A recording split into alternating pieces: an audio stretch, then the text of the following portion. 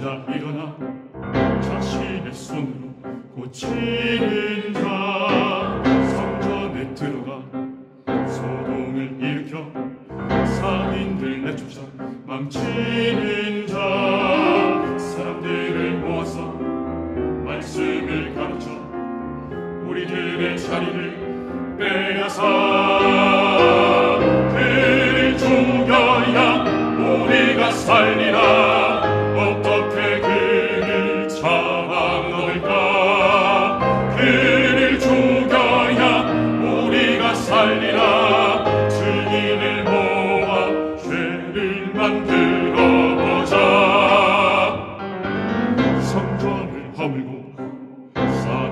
지나면 새로운 성전이 세워진대.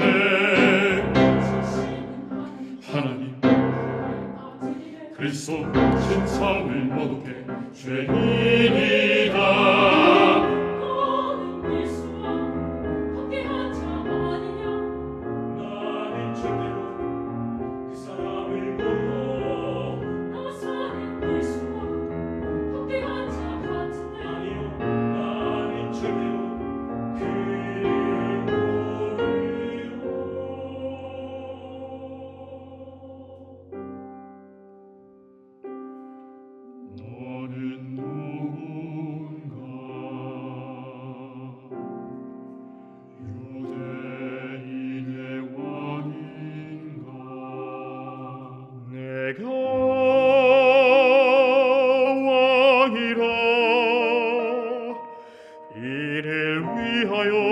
세상에 왔나니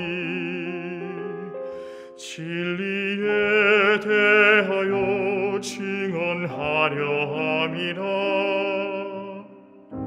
진리에 속한 자는 내 음성을 듣느니라. 죄를 죽여야 우리가 살리라.